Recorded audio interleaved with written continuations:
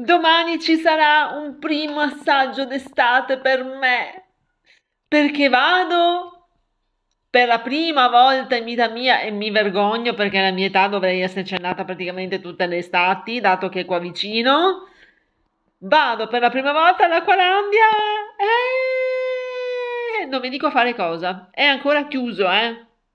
Mi pare che apre il primo giugno. Però domani ci sarà un vlog, vedo cosa riesco a registrare, non penso che riuscirò a registrare tanto perché non so, però ci provo.